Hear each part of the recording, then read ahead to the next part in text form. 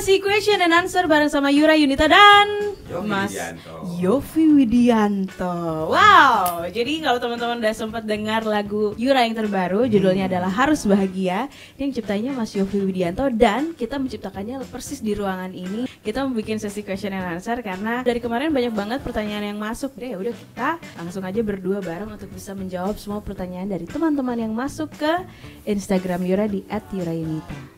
Pertanyaan pertama, Dari Stefanus Dominico. kapan Yura dan Mas Yofi pertama kali ketemu dan apa first impression ke satu sama lain? ketika kita main bareng di sebuah acara di Bandung Iya. dia main sama bandnya terus ada brass sectionnya sama teman-teman di backstage tuh ngomong ini keren banget nih pasti seru nih anaknya gitu Yura ketemu pertama kali ketemu Mas Yofi adalah di Sabuga kelas 4 SD kayaknya. waduh Akhirnya sekarang malah jadi kenal dekat juga Hmm, hmm. dan kita bisa kerja sama bisa bareng. denger curhat-curhatnya dengar cerita-ceritanya yang wah seru ya hidupnya Dan aku juga cita-citanya pengen banget jadi Mas Yofi Amin, versi moga- perempuan. moga ya pasti bisa lebih hebat lagi malah Dan Pertanyaan selanjutnya ada dari Ed Kirana Ade. Kak Yura dibikinin lagu harus bahagia karena apa Mas Yofi? Mas Yofi. Karena dari cerita-ceritanya itu memang orang-orang seperti Yura itu sebenarnya membawa aura positif menurut aku, membawa kebahagiaan, keseruan. Walaupun lagi sedih pun ada ketawanya. Jadi kan Walaupun aku nangis pun walaupun ya, Mas. nangis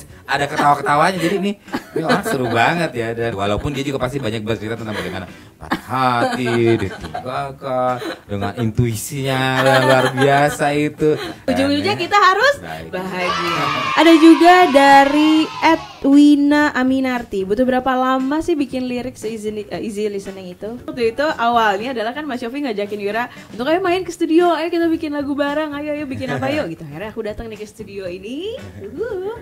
Dan waktu itu aku kasih denger tuh lagu-lagu yang udah aku ciptain untuk materi album Oh. Kedua aku gitu. Tapi adalah Yura harus bahagia, bahagia, gitu nah. Waktu itu aku ingat banget, Yura sebentar ya, saya mau ke belakang dulu kata Mas Yofi gitu ya udah ya. Konon katanya ke toilet tuh, nggak nyampe dua menit kembali lagi ke sini. Ya Yura udah jadi lagunya. Hah? Apa lagu yang mana? Iya lagu yang untuk Yura. Gimana jadi Mas? Kapan bikinnya? Tadi di toilet. itu cepet banget dua menit proses Mas Yofi ada di kamar mandi, tapi kita proses ngobrolnya panjang banget. Terus ada pertanyaan selanjutnya dari Ak Melinda. Harus bahagia ini pengalaman pribadi Tahira, sepenuhnya lirik kerjaan siapa dan apa rasanya kerja sama sama Mas Yofi dan menciptakan sebuah karya yang menularkan energi positif. Ini pengalaman yang sebenarnya kita rangkum dari pengalaman banyak orang ya Mas ya, ya kan, ya kan? Pengalaman dia. Lirik Mas Yofi ya. Hmm. Cuma ada satu kata kamu, jadi aku ganti jadi engkau biar lebih biar lebih romantis. engkau gitu ya Mas Yofi. Yang pasti kerja sama sama Mas Yofi sangat menyenangkan. Ternyata orangnya benar-benar sangat humoris sekali. Tapi gitu, tapi isi isi dari kata-kata yang selalu dia sampaikan tuh selalu banyak pesan-pesan bijaksananya juga banyak gitu. Jadi yang pasti seru banget kerja sama sama Mas Yofi. Karena bikin karya itu benar-benar harus dari hati ya Mas Yofi ya. Di otak kita rasa orang itu menyakitkan. Tapi di hati kita kita merasakan rindu sama orang itu. Itu kan lucu tuh itu ceritanya Yura tuh. Itu tema yang lain kali itu Mungkin dulu dulu dulu dulunya lagi Mas Yofi itu kan yang kemarin ya. Yura adalah salah satunya yang sangat luar biasa dan saya sangat sayangi tentunya Amin. dan mengisi posisi yang memang uh, belum ada di musik Indonesia jadi uh, insya Allah karirnya bisa panjang sejauh dia masih menjaga hatinya dengan karya Hmm, betul. Terus juga dari Ed Umiyati 31, apa yang ingin disampaikan dari lagu Harus Bahagia ini? punya pacar tuh Lebih baik iya. Baik, ya. Lebih keren tentu. Tentu. Tapi di luar itu semua, yang paling penting kita harus bahagia kan. Iya. Percuma keren.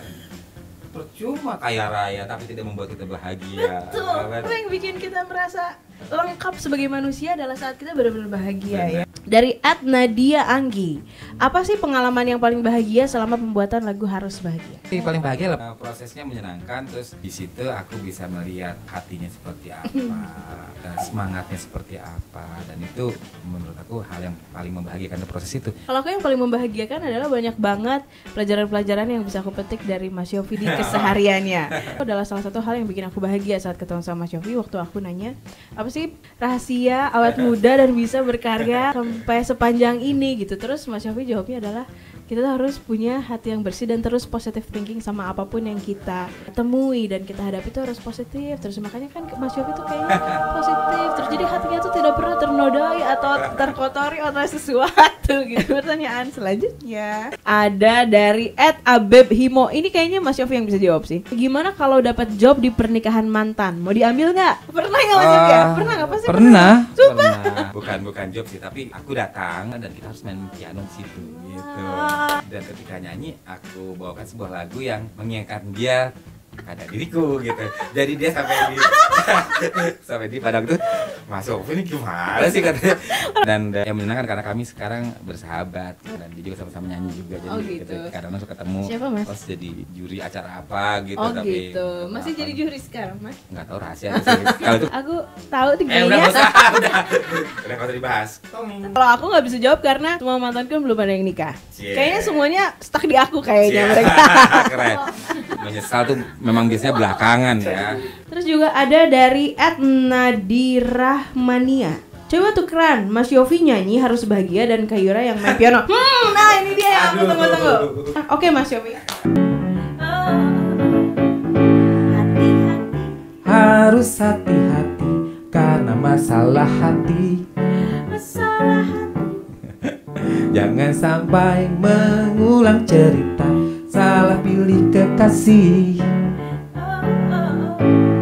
Punya pacar harus lebih baik.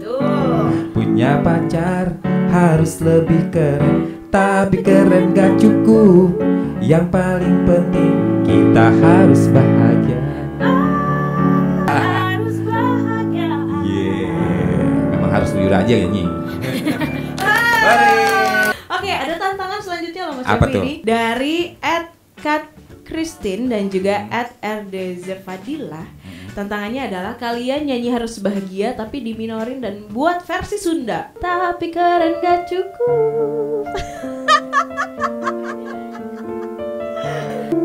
Baru putus, baru saja putus Tak perlu engkau bingung Terlalu lama Lebih baik kita terus maju Gapai mimpi yang baru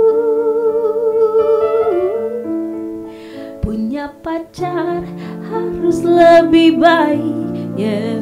Punya pacar harus lebih keren Tapi keren gak cukup Yang lebih penting kita harus bahagia Pinter ya Yura ya. Dari Ed Cimi Aku tantang Mas Yofi harus bahagia jingkrak-jingkrak berdua sama Yura Gimana Ah, ya? gimana ya? Ah.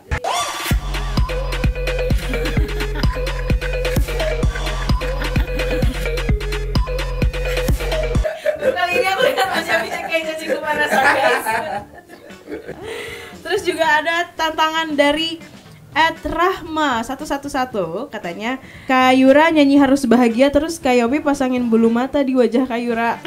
Oh. Emang Mas Yobi bisa pasang bulu mata? Kalau daripada bulu mata gimana kalau pasang maskara? Kalau pasang Oh, maskara maskara, bisa. Gila ini demi loh seorang maestro seperti Yofi Widianto mau melakukan tantangan dari kalian. Tahan. Aku masukin intro ya.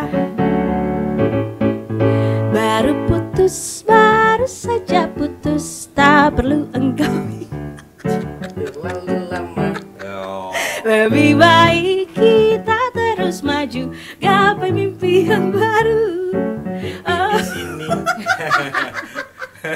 Punya pacar harus lebih baik Punya pacar harus lebih keren Tapi keren gak cukup Yang paling penting kita harus bahagia Hati-hati harus hati-hati. Yang keren Mas Yofi Oh, Yang Salah hati. Jangan sampai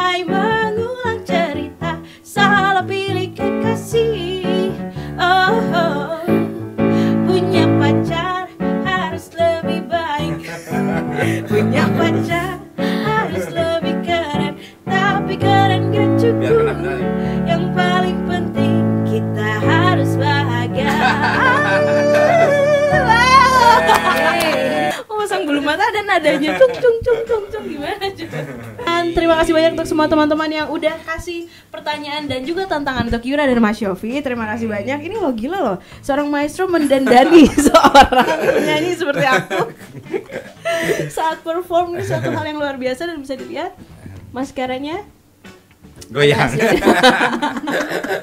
Nah, sekarang ini untung gak jadi cemong aku ya. Dan sekarang persembahan terakhir dari Yura dan Mas Yofi. Kita akan membawakan lagu harus bahagia untuk kalian semua. Dan sekali lagi terima kasih banyak. Dan sampai ketemu lagi di sesi question and answer berikutnya. Da. bye harus bahagia. Woo!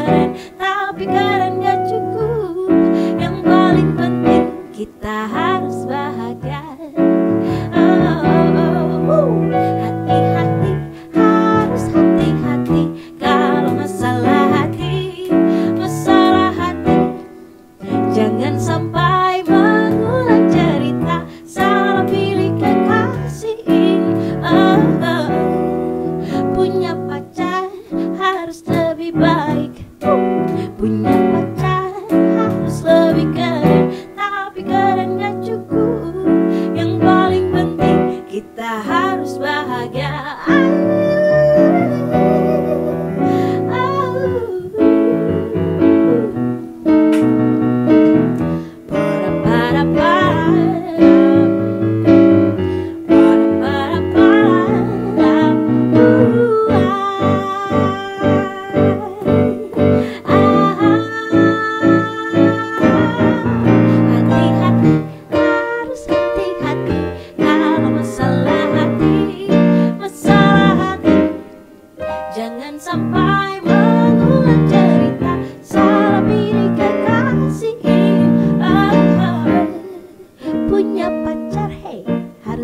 be by.